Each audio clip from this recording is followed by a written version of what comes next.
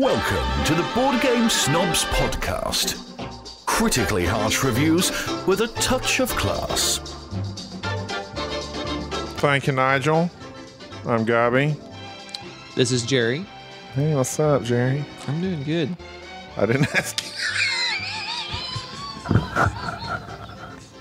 I, I didn't ask if you were doing good. I didn't say how you doing, but okay, go ahead. That's when you're just used to the uh, formalities of conversation. What? Hey, Jerry, I'm doing good. well, I thought you would be worried. I just wanted to throw it out there. I have had a lot of issues here lately, and I know you've been worried about me, and I just want to make it clear to all, Okay. you and all of our listeners. Glad to hear My name's doing Jerry, well. and I'm doing good. I'm My- Gabby. My, Gabi, I'm doing medium. he is the uh, he's the Kanye West of board game podcasters. How's that? You just jump in and interrupt people and say, "Hey, Oh, hey. you go. like pandemic, but A have you heard of?" reference to five, six years ago? Come on, Jerry. I just now found out about Kanye's that. done lots of crazier things since then. I saw it on the YouTube. Okay. But Kanye West So does that make you Taylor Swift? It does actually. It, now is she the blonde girl You that does. blonde hair. She's- She's she- not blue eyed though. I don't think. She's the one that does all the the boyfriend left her and she's oh, mad. Oh, every, right? yeah, she's dated a thousand people and they have all broken up with her, and they've provided her with billions of dollars. Taylor, let me tell you this right now. Once you've gone through that many, you have to stop and ask yourselves if it might be you. That's What's the, the, common denominator? That's the common denominator. Is it me? No, you know what though? Nobody asks themselves that. I always ask myself that. Do you Is really? it me? And the answer's uh, always the yes. same. Yes, it no, is. it's, no, it's not me. It's society as a I mean, whole. I mean, I do, but most people in general don't ask themselves, "Am I the problem here?" You're inflective. what does that mean? You look inward to your oh, innards. Oh, yes, I I'm deflective, like deflector shields up. like Wonder Woman's bracelets. Yeah. I've not watched Wonder Woman. Oh, I'm sorry. I'm Ever? sorry. Ever. I'm You sorry. don't know I- anything about her. I, know she has a lasso that when you you get tied up, you tell the truth, which I'm not sure how that's Lasso of truth. I don't know how that's different from any rope. Any Yeah. time I've ever been tied up, I've told the truth. I just just fun fact. Yeah, well, hers. Um, uh, It compels you. How does it compel you? I don't know. How can it compel you? The power of the rope compels you.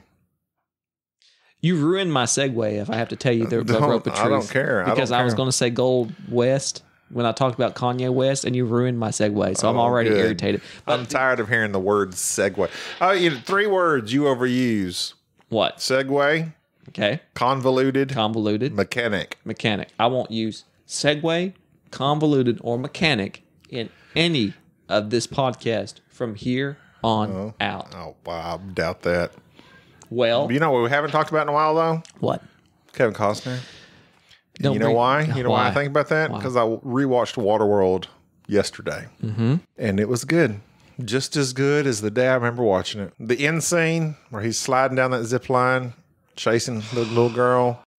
Although he never has a name, so it's kind of like hard to connect with him. In a movie, you should have a name, I call him Kevin but don't just be.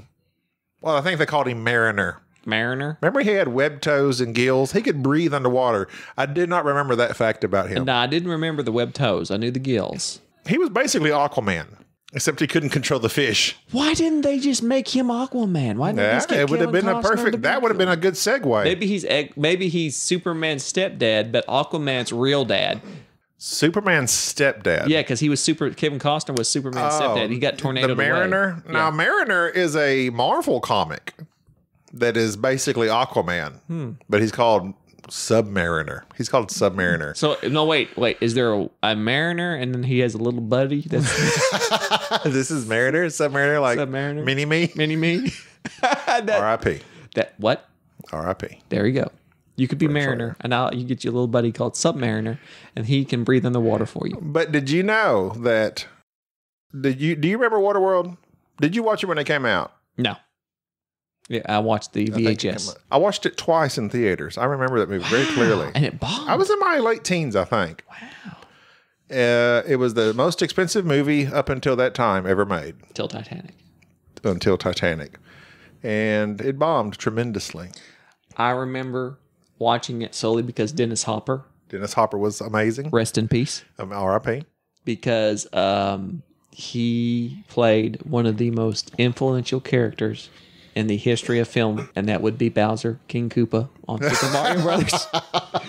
With Although he basically played Dennis Hopper. and then yeah, so In Dennis every Hopper movie. was always Dennis Hopper. Yes. And I like the fact that he was King Cooper, Cooper, Koopa. Koopa, and then he was the Waterworld guy with the one eye. Yeah. And then he he like gave Pop quiz, hot hot shot. shot. He gave Keanu Reeves a hard time. Yeah. And it's like he just did a lot of things. He was always a good bad guy. He was a good bad guy. And I don't know. Somebody saw him. What I don't know how he got into show business. I'm pretty sure he was like at a liquor store someday. and some producer saw him. Was like, "Hey, we need a bad guy. Come with us. Just be yourself." and he was. That's from good. then on. I love Dennis Hopper. Uh, Kevin Costner, I don't think he said more than maybe 50 words that whole movie. He didn't need to. His his actions He speaks spoke from volumes. here, and I'm pointing to my heart. I did. He did. I'll never Um, forgive you for Postman. Uh, speaking of games, Never seen Postman. But wait, there's more. Or there was more. Uh, I okay. Well, before wait, are you going to go into the main topic? I'm gonna go into the main topic. but Okay, but before you do, okay. I played a game that's all the rage right now. Yes. Azul. Oh, that means blue. I did not know that, I think and I am half Chilean, and I feel quite bad about that. is Azul Chilean? It's Spanish for blue. Is it? That's what you just said, right? I don't know if it's Spanish. It's Spanish. Azul? yes. I don't know. I'm not Espanol. well, I am. I thought Lorenzo El Magnifico meant Lenny the Magnificent because you told me that. That's Italian. You're not Italian? No, I'm just a heavy set, dark haired man. Email Giuseppe and see what. Giuseppe. I bet he's Italian. yeah, I like that name. Giuseppe. No, uh, I'm sorry, Giuseppe. I shouldn't have done that. You probably get that all the time. I don't like it when there's like a clear, oh, there's like a clear cut joke that everybody makes in movies. And then like it's so cliche, but then they go ahead and make it like a Italian accent. I shouldn't have done that. We were just talking about Mario Brothers. I know that's true. I didn't do it then. I stopped myself, but I did it with Giuseppe. Mario's Italian Mario is Italian mm-hmm. and Luigi. and Luigi, very Italian. But I played Azul, and my verdict is it's fine. That's it. It's like nominated for the Spiel. This is my problem. I don't know what your problem is. this is one of my problems. when you have a game, like literally, it's constantly posted. People Ah, playing it. blowing Lots up, of people are blowing playing it up. It's Tom did his uh, Who's Tom? uh off the dice tower. Who? It's a it's a podcast Never about heard of board him. games. Never heard of them. Uh, well, they're kind of well known in the board game community. Hmm. I have to look them up. Check them out. Are they on the Twitter? Dicetower.com. Oh, yeah. Uh, You were saying let's plug the Dice Tower because they need it. Uh, he was talking about the he does a, uh top selling games every month Mm-hmm. from Cool Stuff. which is his sponsor? One of the people that sponsor him. Um, and Azul, his I think he said has been number one in both units moved and dollars for the past at least three months. I think. Really? So it's a mega game. Tons of people are buying it, and it is fine. It's an enjoyable game. It's abstract completely. You're laying tile. I do prefer it to Sagrada.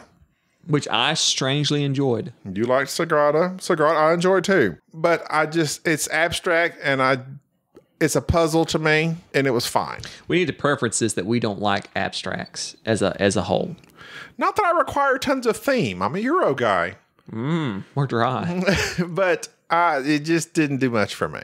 that and to crypto you got on the shelf are two games I want to play. I want to play the crypto. It's all the rage right now. All right, too. let's get it it's done. the new code. Let's names. go to our list. These are the games that wowed me. And when I say wowed me, Wow. wow, that's three Owen Wilsons. Wow. Oh, we should have had that drop. No, I need a machine like the DJs have.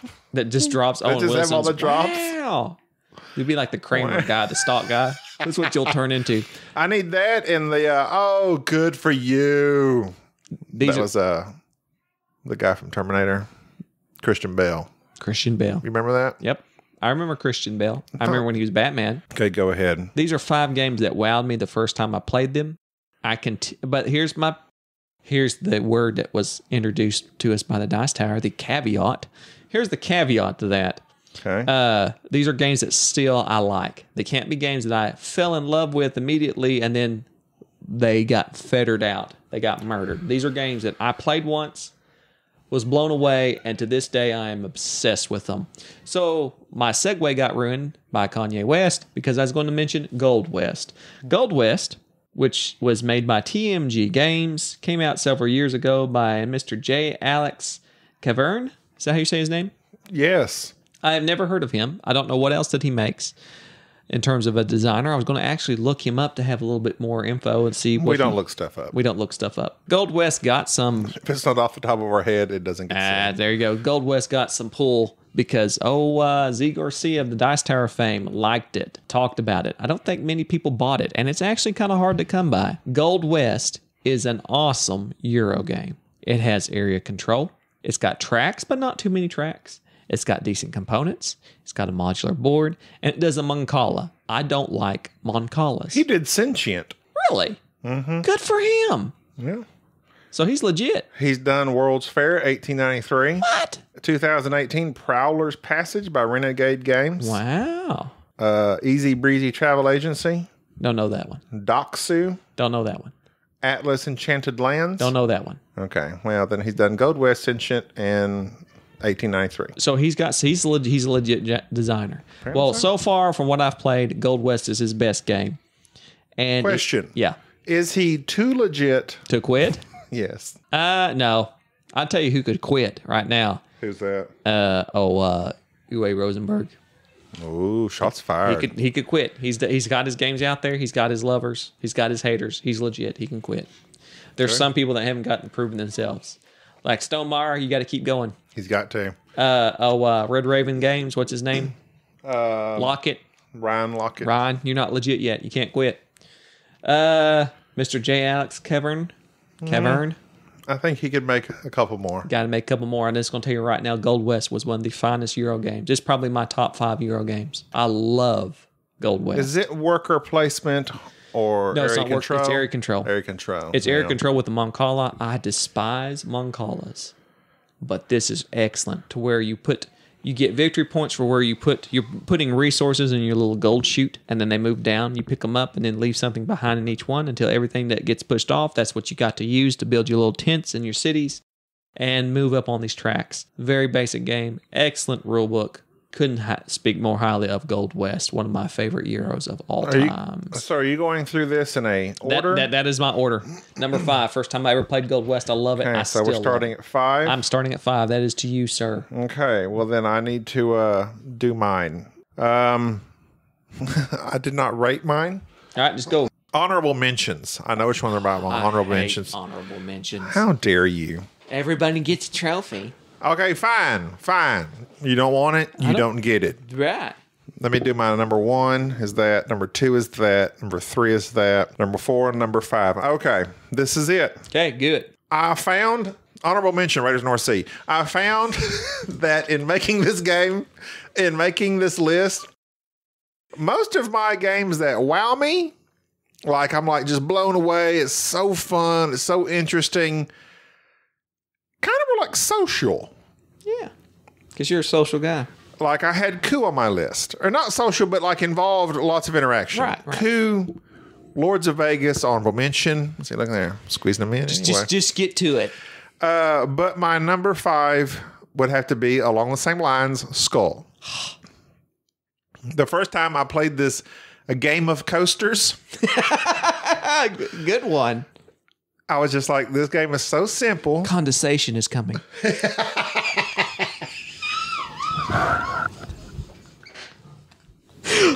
that was good. That was really good. I gotta write that down. I was writing that down. oh, classic. Classic. How do you spell condensation? All right, go ahead. C-O-N.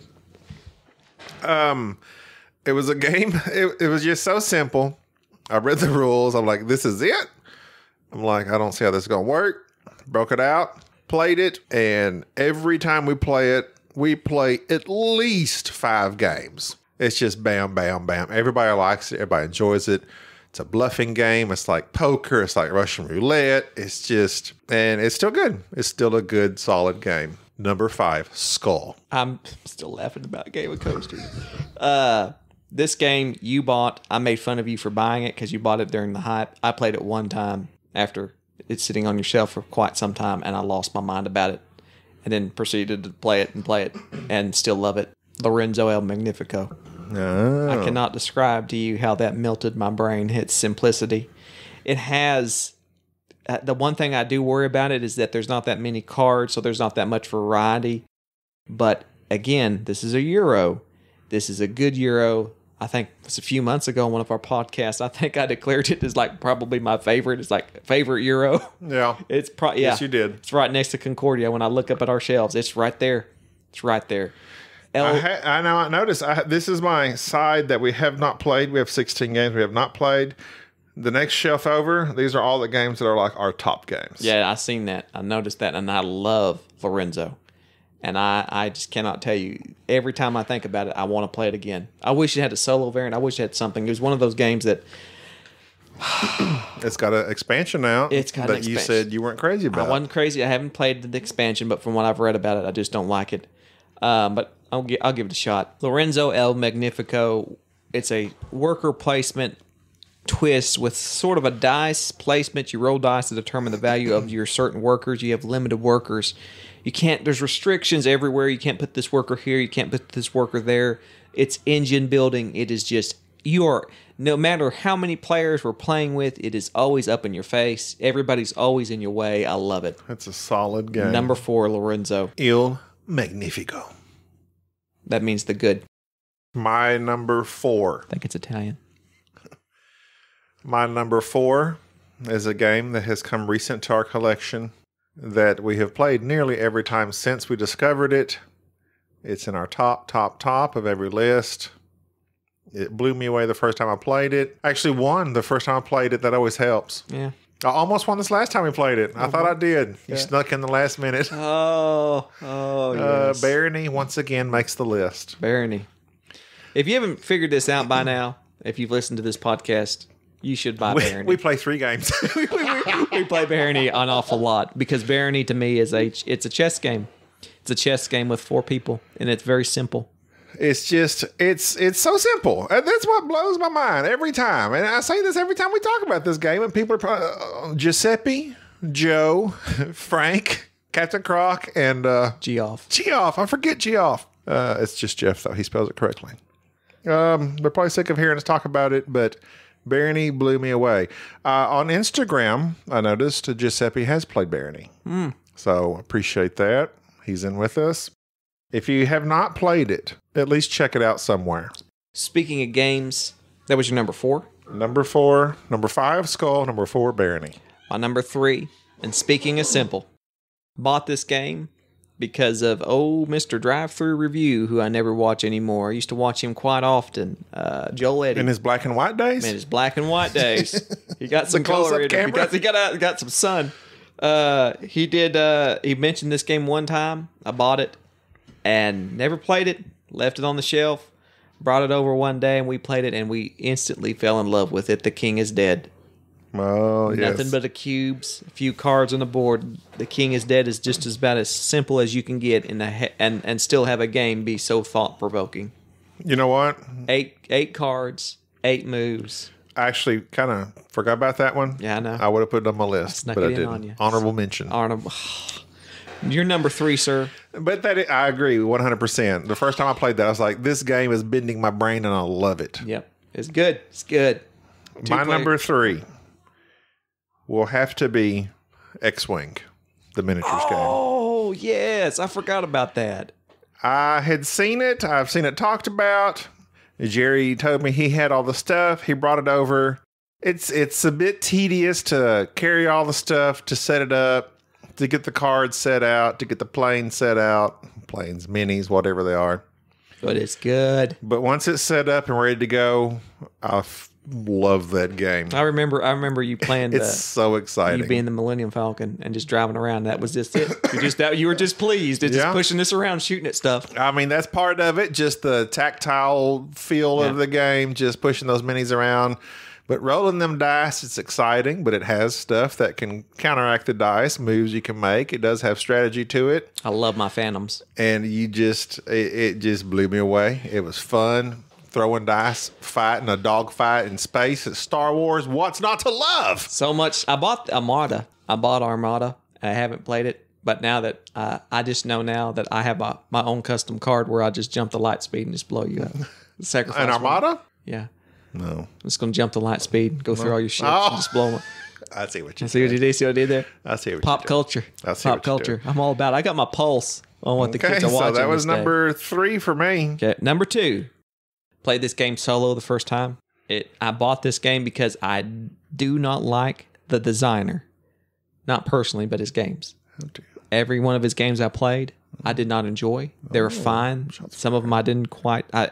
It, it- I was getting back into the hobby. Heard his name all the time. Mm. Bought every one of his games just about. Never could quite find one that I just. I bought them and sold them. Uwe. Uwe. Gates of Yang. Gates Lo Yang yet again. Thank you. Love Gates Loye.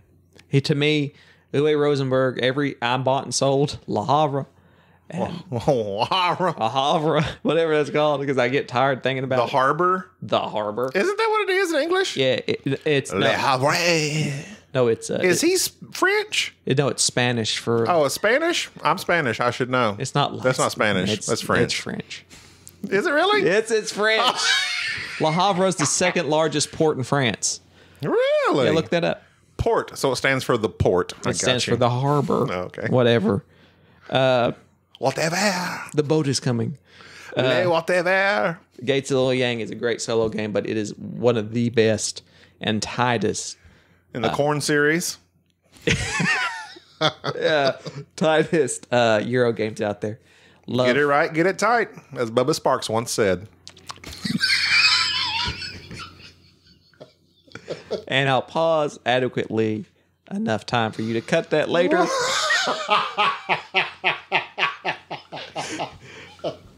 and uh, your number two, If sir. no one else enjoys our podcast, I do. number two. Oh, number two. Number two, you may you may have issues with me. I already do. Well, you can add this to the list. But it is a legit game. It is a social game. And I had heard about it from my brother in law.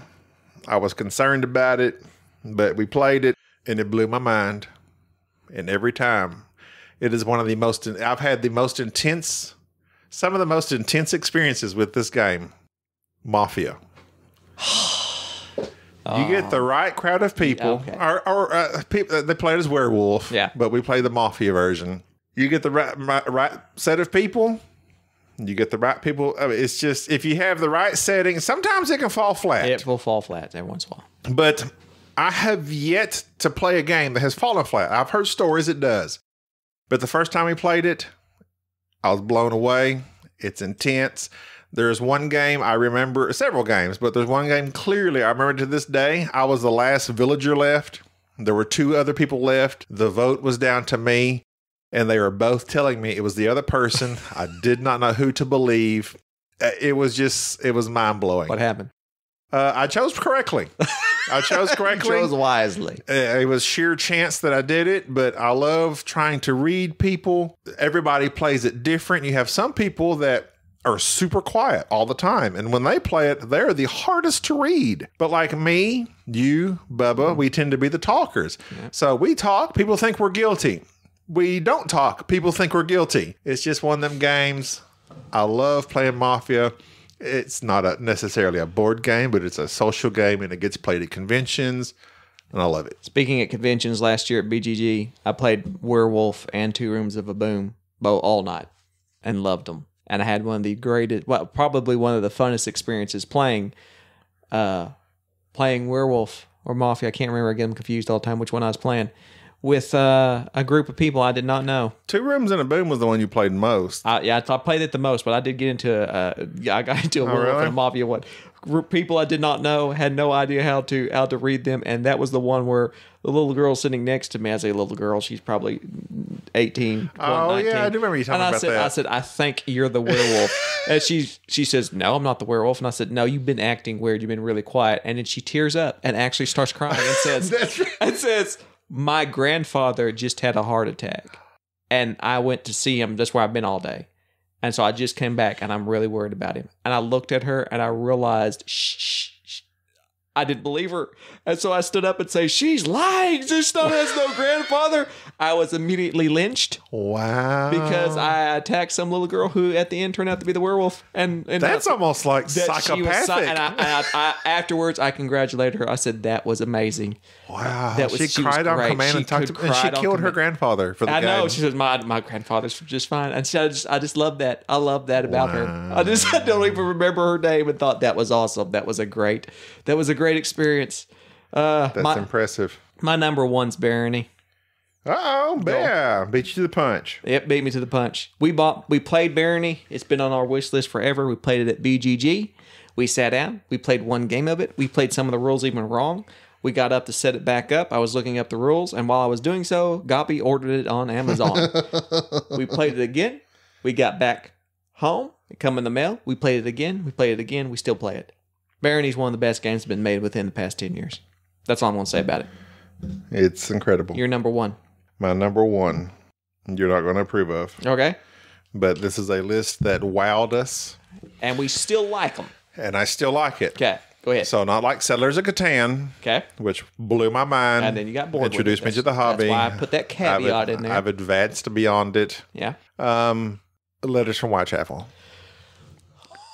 Oh. It's hide and seek on a board. I get it. But not only the first time I played it, but every time I play that game, it just it, well, it's like Mafia. It has. I like a game that has me tense, and that doesn't make any sense because I don't like horror movies, but I do like. Eh, I, I'm nervous. I'm wanting to catch Jack. I'm searching. I'm searching. It just it it blew me away the first time I played it. I was I had up until that moment I had never been that excited. Literally standing up, wondering, trying to figure out all the steps and where Jack had went on the board. It just it blew me away. Number one, letters from Whitechapel. Every time we play the game, Golly puts on the Sherlock music, Sherlock Holmes, either BBC or the or the or the Robert Downey. well, you like the BBC. I like the BBC. He likes Robert Downey Jr. He's wrong. music wise. and anybody who likes Elemental can just get out. Elementary. Whatever. I don't even remember it. I've not watched one. En- I have not No. watched one episode of it. And we had a whole Lucy Liu discussion about it. Yeah, remember? you know how I feel about Lucy Her Liu. and Bill Murray, best friends. uh, Letters from Whitechapel is one of those games that uh, always end up being Jack. And the last time You know why? Because you don't like to work with a group. I don't like to work with the group. you like to be the guy. I like to go shining my flashlight down the alleys that I think Jack might be at, where everyone else is wrong.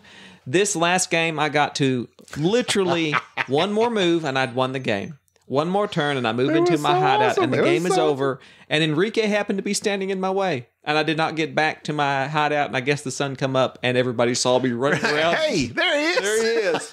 so Letters from Whitechapel is one of those games that people either it's polarizing because they either love it You either like that style or you don't. or they despise it. I have had bad experiences because I have provided bad experiences with Letters from Whitechapel. the I've been- last one was good. the last one was probably awesome, the most fun I've had with it. But like the first few times I was Jack, I like got caught. I'm I'm bad at it. And then You have gotten caught every single every time. single time. and then times when I'm the cop, it's like I'm not every. I'm I've always, never played you with the cop. I have been the cop one time, and it always ends up I'm with other people. I'm with the Keystone cops, and they're all like, "We should be over here." I'm more like Dirty Harry. I like to show up and say, Do you do lots of arresting or do you clue? "I clue" until I know, Hmm. and then I don't need to get a clue. Well, Well, those are the games that blew us away. There are some honorable mentions that I won't mention. well, well. Yeah. Okay, so uh, what? But t- for, hold on. For instance, Yes. take your. uh, I wanted. I, I had a hard time making this distinction, but not really. But I was like, well, I mean, my number one games, uh, Viticulture Scythe, which has changed now.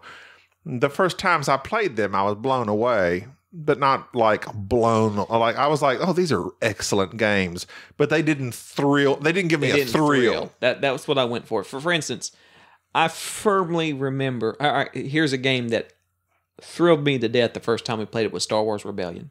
I remember you getting up from the table and running around.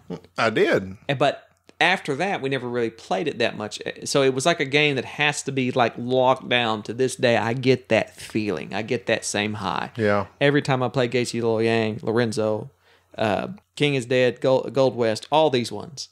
Every time I play them, I get that same feeling. They have never waned on me. They have never gone down. Some of these go up and some of them go down. Eclipse was really good. Eclipse has gone back and forth with me. I've enjoyed it, gone up and down. Same thing with Scythe, same thing with several others. But these games were amazing the first time, and they're good ones as they ever were. Like photosynthesis, I played it, fell in instant love with it. I've played it since then. It's kind of gotten a little too long It's, for me. it's hard to get it to the table because of the type of game it is. But okay, well, that's it. that's it. Uh, our next episode will be about what I did at BGG. Oh yeah. Yeah. Oh, I guess it'll be all you. It'll be all me. You can ask me questions. I'll ask you You can interview me. So what was Really? the best? I'll send you some questions I need you to ask. Okay. That's a good question, Gobby. What was the best? Okay, well, play lots of games so you can talk about it. I will. Find Lignum I will. and play it. That's uh, French, isn't it? Uh, don't ask me. It's about chopping wood. Oh, Go a- find that game and play it. All right, gotcha. All right, well, everybody, I'm Gobby. I'm Jerry. We'll see you next time. Condensation is coming. Thank you for listening to the Board Game Snobs. Stay classy.